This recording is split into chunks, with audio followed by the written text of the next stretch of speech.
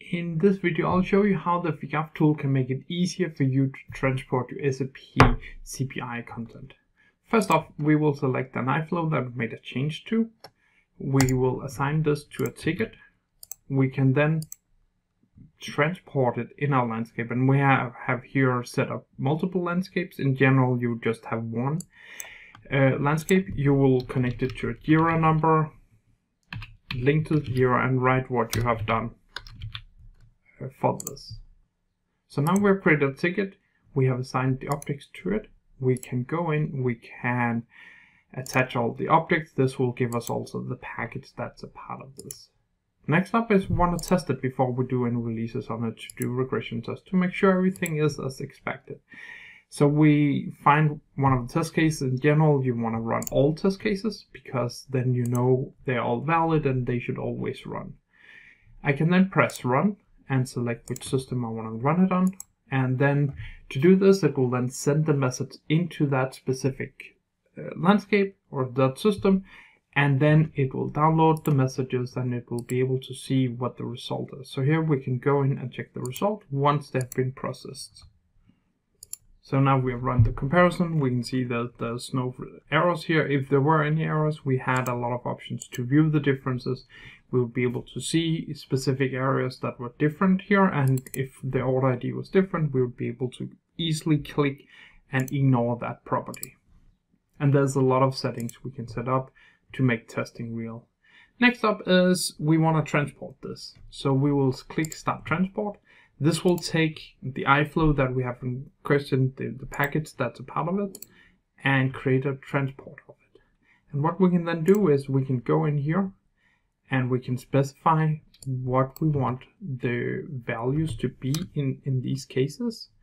Uh, and some cases it has replaced it with global uh, replacement and other times you can go in manually and edit these uh, scenarios. So this is one place where you can configure the full landscape. And in this, we only have two items. If you had three landscape items, they would obviously be possible to configure all three here. Now I can send it to approval. And I have also access to approve here. In general, that's not best practice. Uh, you would need uh, someone else to approve your transport. But for the sake of the comparison, it's a lot easier. As an approver or as a developer, I have option to use different type of comparison. And we can see here that there were some changes in the layout of this. Um, and there was a change up here with some properties. And we can then scroll down here and we can see what was different here. So this was approval 7 and this was approval 8. That's probably okay. So we can see the BPM model.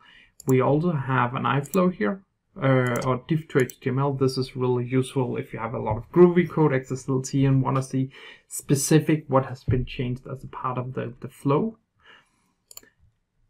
It is also possible to do message mapping comparison that can see what has been changed with specific mapping. So we're trying to provide some different perspective that make it easier for you to approve it. And you can always go into the ticket again and approve it, see what's going on. So I'll approve it. Good.